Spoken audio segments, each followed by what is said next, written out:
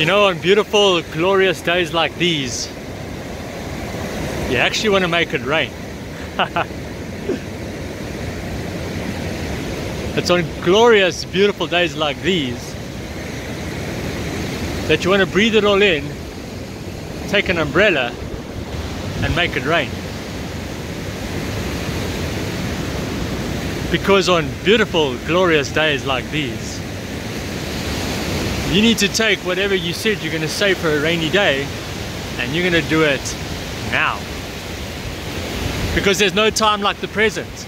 There's no time like right now when you're are surrounded in ambient beauty in order to do what you put away for a rainy day. All the excuses. I'll start it next week. I'll start gym next week. I'll take a rain check on that friend that wants to have a coffee.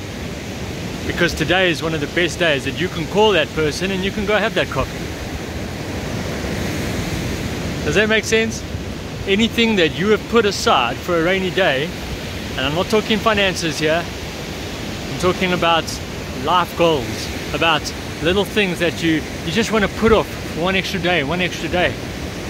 And then you surround yourself in a glorious, gorgeous day like today. Making you jealous, yeah? And you make it rain. You'll knock not only one thing off your list, okay, but a lot. And your friends and your family and everybody around you will love you for it too. Take that step, do that project, start that little business venture. That's a really rainy day. And if you do it with a smile, if you know it's your passport, you'll do very, very well. Love and light, and I'm gonna fetch my umbrella now.